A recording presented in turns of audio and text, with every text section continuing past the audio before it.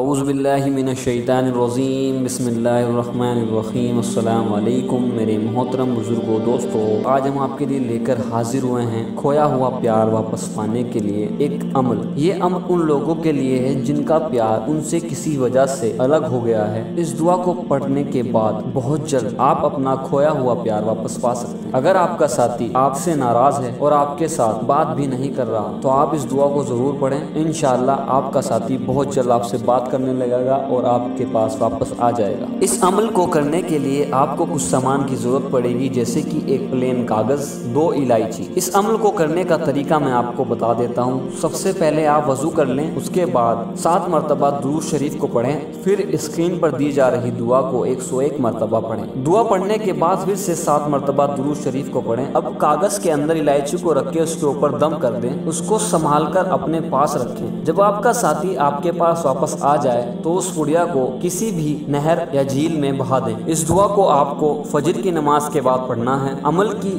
کامیابی کے لیے پانچ وقت کی نماز بہت ضروری ہے۔ پانچ وقت کی نماز ہر مسلمان بہن بھائی کے لیے فرض ہے۔ تو پانچ وقت کی نماز نہ چھوڑ۔ اب ہم آپ سے اجازت چاہتے ہیں میں اجازت دیں۔ السلام علیکم وآخر الدعوانا الحمد للہ رب العالمین۔